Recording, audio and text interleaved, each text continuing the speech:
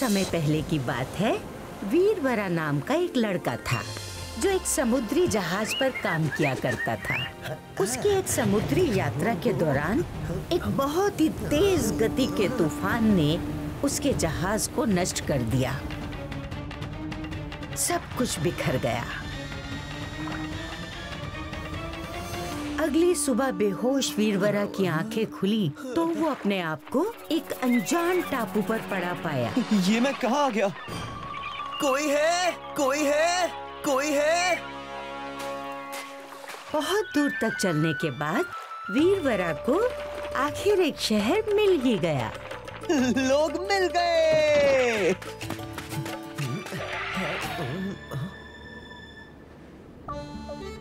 हाँ? कहाँ चले गए यहाँ के लोग? कोई दिख ही नहीं रहा। महाराज की जय हो। महाराज की जय हो। महाराज कहाँ? अरे अरे रुको भाई। ये- ये सब क्या हो रहा है? और ये मुझे कहाँ ले जा रहे हो? ये टापू दिखने में चाहे जितना भी खूबसूरत क्यों ना हो। यहाँ के नियम उतने ही विचित्र हैं। यहाँ के नियम के अनुसार जो भी आदमी यहाँ बहकर या भटक कर आता है उसे वो अपना नया राजा बना लेते हैं। और जीवन भर के लिए पुराने राजा को वीराने टापू पर भेज दिया जाता है। जिसने राजा रहकर यहाँ की सेवा की उसको जीवन भर के लिए वीराने में रहना पड़ेगा? ये तो सचमुच विचित्र है। वैसे फ़िलहाल यहाँ के राजा कौन है? मैं वीरवरा को अब बात समझ में आई कि वो आदमी इतना उदास क्यों था? क्योंकि अब राजमहल छोड़ उस वीरान टापू पर जाने की बारी उस बुज़ुर्ग व्यक्ति की थी।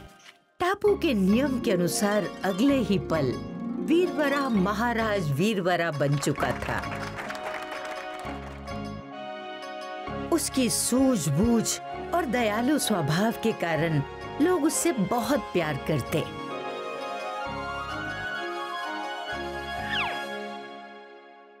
मगर इस बीच एक बात थी जो वीरवरा के मन को हमेशा परेशान करती रहती थी। और वो थी, एक दिन कोई और राजा बनकर आएगा और उस दिन उसे भी वीरान टापू पर जाना पड़ेगा। और इससे छुटकारा पाने के लिए महाराज वीरवरा को एक योजना सूझी। सैनिकों। बरसात के मौसम में समुद्र किनारे रह रहे लोगों का घर अक्सर बह जाता है। इसीलिए मेरा आदेश है कि वीरान टापू के कुछ हिस्सों को अपने नगर की तरह ही विकसित कर दिया जाए। जिसमें घर दुकान सड़क सारी सुविधाएँ हो। वीरान टापू को? मगर महाराज वहाँ तो केवल यहाँ से विदा किए गए राजा को रहना होता है। ये मेरा सुझाव नहीं आदेश है। महाराज वीरबरा के आदेश से वीरान टापू के कुछ हिस्से के घने जंगल को काटकर उसको विकसित करने का काम शुरू हुआ।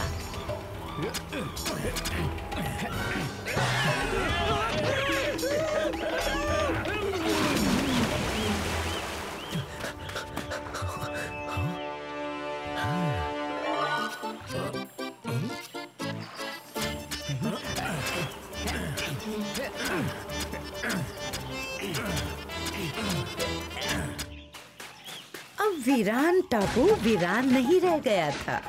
और जब वीरान नहीं रह गया था तो फिर किसी नए राजा के आ जाने के बाद भी वीरवरा को वहाँ जाकर रहने में चिंता किस बात की होती इस प्रकार से उसकी ये योजना तो काम कर गई और वो निश्चिंत होकर राजपाट चलाने लगा।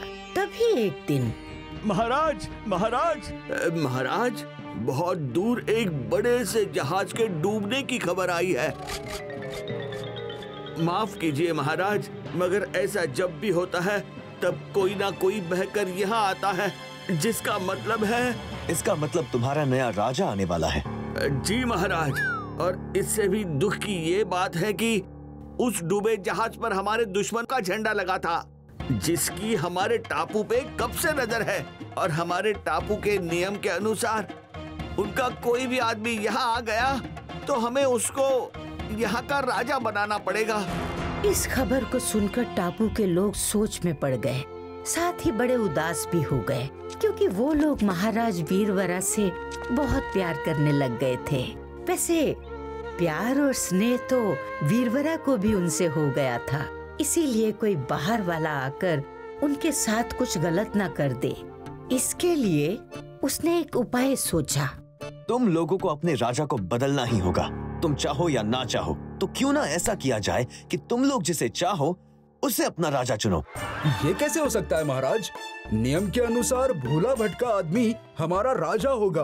अब भूला भटका आदमी हमारी पसंद का कैसे हो सकता है? अभी राजा हम हैं और राजा नियम बना भी सकता है और बदल भी सकता है। हर अजनबी अच्छा नहीं होता और अपना राज्य किसी अजनबी या दुश्मन के हाथों देना बुद्धिमानी नहीं। हाँ हाँ महाराज सही कह रहे हैं। इनकी बात बिल्कुल सही कह रहे हैं। मगर इसमें हम कर भी क्या सकते हैं महाराज? करना तुम्हें नहीं हमें है। यहाँ की प्रजा की भलाई को देखते हुए हम ये नियम का प्रस्ताव रखते हैं कि आप लोग खुद अपने बीच का कोई राजा चुनिए। मगर हमारे बीच के राजा से हमें भेदभाव का खतरा है इसीलिए हम बाहर का राजा चुनते आए हैं। इसका उपाय भी है हमारे पास।